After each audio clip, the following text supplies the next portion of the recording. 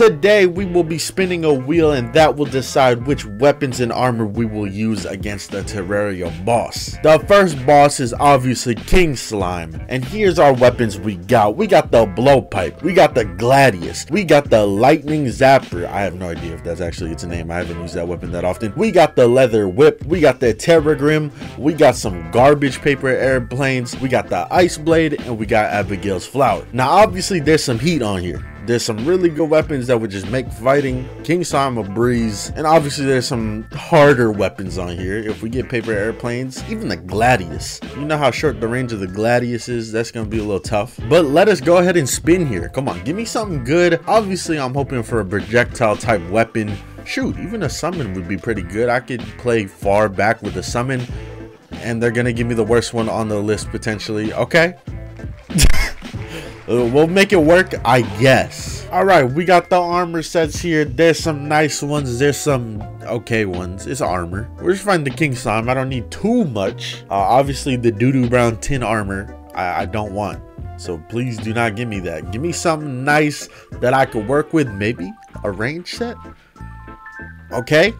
So we're trying to give me every single bad thing there is on the list. Okay, let's go ahead. Let's hop into the game here and let's fight the King Slime with tin armor and paper. All right, we're in the world here. I got my paper airplanes, my tin. I got healing potions, iron skin swiftness. Let's get it. I hope I can do this. I am playing on a T-Mod 1.4 so I can have Omni Swing. Bro, do these things actually do like two damage a hit?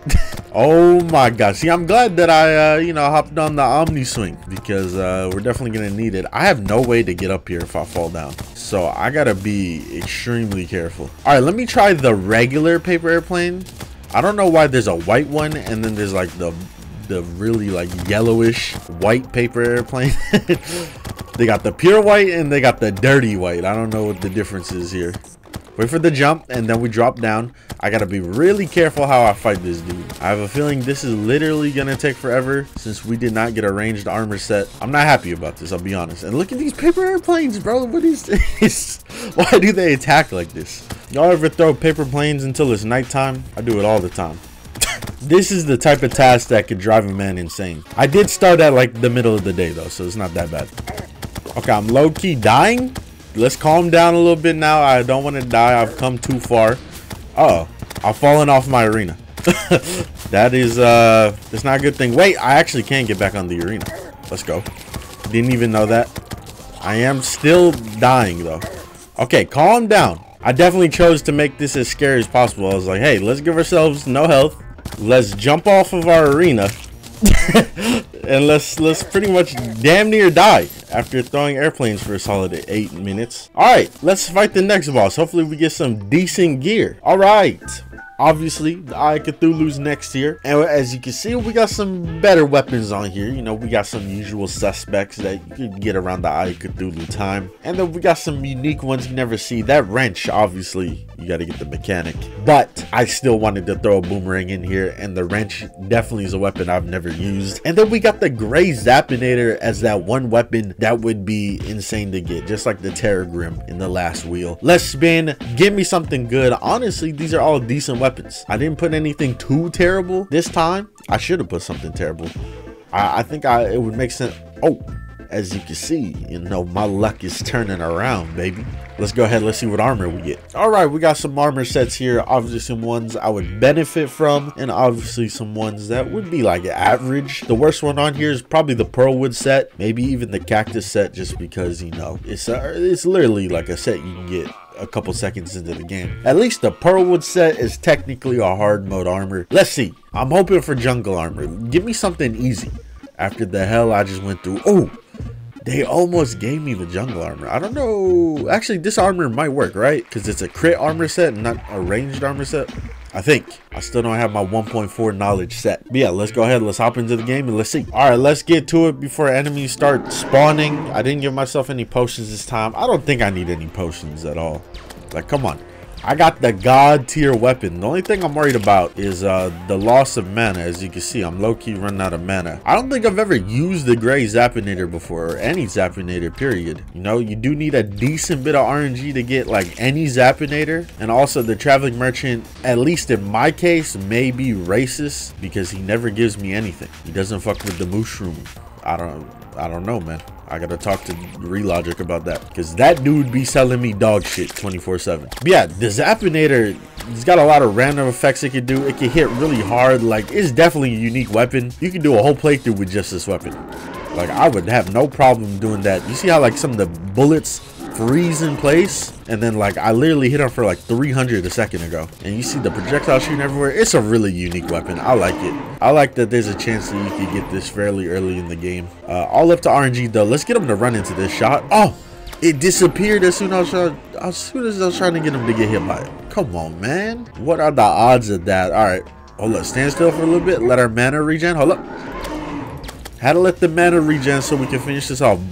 Boom. I said boom all right, nice and easy. I needed an easy one after the last one. All right, we have the Brain of Cthulhu next. That's what the world I generated had instead of the Eater. Let's spin the wheel. As you can see, nothing too bad. The worst thing on here I put on put is the Snowball. And I didn't put like an extremely OP weapon on here. I try to either have like a really bad weapon or a really OP one. This one, I kept it pretty balanced unless we get the Snowball. The Snowball isn't the worst, but like, come on. You already gave me the paper airplane planes, please don't give me the snowball. They're trying, they're really trying to do it to me. All right, Sapphire Staff, nice. Honestly, by the time I fight the brain, I can find myself having a diamond staff, maybe even an amber one. But I put Sapphire just because, I don't know, I rarely use Sapphire staffs. I barely use staffs in general, honestly. Let's see what armor we get. All right, armors are pretty much the same as the last one. The couple of items are armor switched here and there. So let's go ahead, let's see what we get. I'm hoping something that benefits me, obviously please. Okay, it would have been nice having that, you know, mage armor set with the meteor one, but I guess it's raining out in the Crimson today. Let's get it. Got my raincoat armor on. I gave myself a little tin greaves because there's no pants. At least I didn't think there was. And let's pop the bloody spine. Let's get it. I gave myself an iron skin, a little speed buff. I usually don't fight the Brain of Cthulhu on the uh, surface. I usually fight them underground. Obviously, it's easier to pop the uh, hearts and stuff and then just take it on like that. All right, let's get it. Uh, I totally forgot that these staves do not pierce. Uh, I thought they did. This is a little scary now that I think about it. I'm about to run out of mana, bro. I gotta choose my shots carefully here. Not really. I just gotta literally run around until my mana comes back. Wait, use a grappling hook. I do have a little grappling hook. Oh, I actually got hit. Oh, let's calm down now. I can't be getting hit multiple times. Let's not repeat the King Slime fight. I don't want to make this fight close for no reason. Now, don't worry. It'll really get started once I kill one of them. Once I kill one of them, that's when the fight will get started, all right? Because then that one will drop mana, and then from there, I can use that mana, shoot, kill another one, drop mana, rinse and repeat. Here's the only problem. I just gotta kill the first one, and that's seeming to take a, a, a good bit here. All right, let's get it. I'm ready. I'm full with mana. Let's let the shots fly, and hopefully somebody drops some mana for me. Please. I killed one of them. I might have to pop a potion here. I'm taking some damage, bro. It's all good. We got the mana starting to refill now. Exactly what I wanted. I just can't take any more damage. Please don't take any more damage. Don't spawn on me. This is just like the eater fight, you know? Once you start breaking the segments, the fight really picks up. We are finally starting to kill a good bit of the eyeballs here. Oh, I get that was a good teleport. I'll give him that. He really caught me. He really caught me with the uh, the creepers. Another good teleport got behind me, you know, made the creepers have a direct path. Godly teleport. Oh my god. Literally teleported on top of me. That does not happen too often. Hopefully these last couple eyes drop some mana for me. Uh, just so, you know, I have a little extra stars to pick up here before we get into the real fight, baby. Here we go. All right, real fight begins. Uh, thank God we're not an expert. We are playing on normal. So I got a little bit of a safety cushion behind me. Maybe in the future we do this challenge on harder difficulties. Shoot, for the worthy. Forget expert in uh, master mode. We go straight to for the worthy. I might have to have some decent weapons on that wheel though. I might have the gray Zapinator on the wheel every time. My biggest fear here is running out of mana. Honestly. Since he does take a little knockback, uh, I can shield myself and push him away. I just gotta be ready. Oh, see, look, he caught me off guard. I wasn't ready there. This time I'm ready. Okay, I thought I was. I thought I was ready. We are slowly running out of mana. Not good. No, no. I could 100% lose this fight. I don't have mana. I can't defend myself. Oh my god, he clipped me right there. It's over. Oh my god, the Brain of Cthulhu is the greatest boss in Terraria. You know, I think having actual armor would have helped there. Maybe even having some mana so I could actually attack. Alright, we took a L right there. You know, there's nothing I could do about it. He beat my ass fair and square. Good job, Brain. On to the next boss. Alright, Queen Bee, let's see what we get. We got some troll stuff on here. We got some decent stuff on here. Nothing too OP. Let's see what we get. Honestly, let's create some content. Give me the snowball cannon. I was just kidding, by the way. No, I was just kidding. Bro, I don't think I've ever used this before in Terraria. All right, you might be looking at this and be like, hey, is there a hard mode armor on here? Exactly, yes there is. Whatever, spin the wheel. If I land on the angler armor, I'm gonna be insane. Okay, the angler armor is completely on the other side. We don't gotta worry. We got the necro armor. I don't think armor is really gonna help out at all. Uh, no idea if it even affects the snowball cannon. Let's see. I hope you guys like my arena. It should help out a little bit. Let's see. Give me one snowball. Go ahead. Break that. There we go. Let's buff up. And let's enter hell. I can get some decent hits when she's doing her charge attack, actually. That's not too bad. Wow, the damage. Honestly, not the worst so far. I'm liking it, actually. These snowball cannons kind of nice. Hold up. Get up here. Get those shots going in. I did notice that I left God mode on. It's all good. Here, I'll take a couple hits to, to penalize it. I don't want to actually get hit by her, though. All right, let's keep it going. Oh, I almost got hit by her. The dash is literally the perfect time to blast her with snowballs.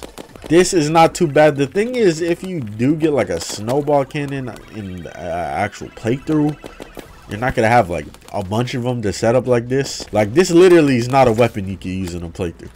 You get one of them, and you gotta hope and pray. Why, why would you even be using this in a playthrough? I'm acting like this is a weapon you're trying to find, like it's a snowball, like actual snowball cannon or whatever it's called, snowball gun. Oh god, I jumped into her. Take advantage of the dash. Look how many hits we can get. This is doable. This is more than doable. I will complete this. She is not the brain of Cthulhu. The brain of Cthulhu had me checkmated at every opportunity possible. But I have the queen bee checkmated here. I just need her to do more dashing, please. Or just, yeah, come on to my level like that. That helps out a little bit. The snowball launcher, that's what this is called, right? Technically, low-key, it is a cannon. Uh, but, yeah, the snowball launcher actually eats through snowballs pretty quickly. As you can see, we're already at 600. Like, goddamn.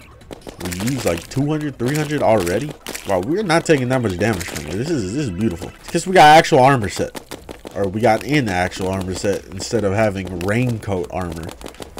Which is not even an armor. I don't know why they have it categorized as armor. They be having some cool ass complete vanities that aren't armor. And then they got a raincoat armor set. Like what? It doesn't even get a set bonus. So why the hell does it even give you defense? I don't know. They, just look at some of the vanities in Terraria. Like they, they should have made some of those armor. I wish there was a way to aim. Is there a way to aim these? Maybe you could like click on it with something. I don't know. The way you can aim like actual the pirate cannons would be nice. So maybe there's a way and I just have no idea. This got to be like, you know, top five Terraria quote unquote weapons that I don't touch. Like, why would I? Uh, I'm gonna have to start playing around with it though if it's doing damage like this. Snowball launcher playthrough coming soon. Okay, another dash. Let's get to the far cannon.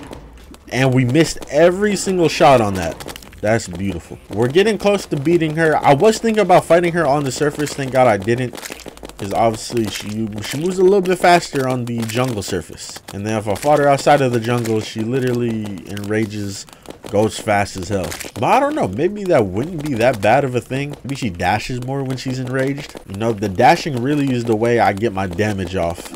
Oh, speak about the dashing, let's end it. Oh my god. I can't believe I got my ass beat by the brain of Cthulhu when I had a decent weapon. Okay, the armor was still sucked. But I just beat the queen bee with a damn snowball launcher. What is this? Alright, I'm gonna end this video off here. Obviously, there's a lot more bosses we can fight. But you guys let me know. You guys like this video? You like this idea? This is fun. I liked it a lot. We could even do it with modded stuff in the future. Let's go ahead. Let's get a like goal. 2,000 likes. And I'll go ahead and drop a sequel to this video. That should be easy for us. 2,000. We can get a 1,000 now. I don't even gotta ask. Let's get 2,000 on this video. Make sure y'all subscribe to the channel. Make sure y'all sub to the second channel if you miss any live streams. And obviously, make sure to follow the Twitch to see the live streams live. Follow the TikTok to see funny little clips highlighted on there. Same thing with the Instagram. The Instagram and TikTok, pretty much the same. I guess follow my Twitter if you want to see me tweet dumb shit. But yeah, thank y'all everyone for watching. I'll see y'all next time.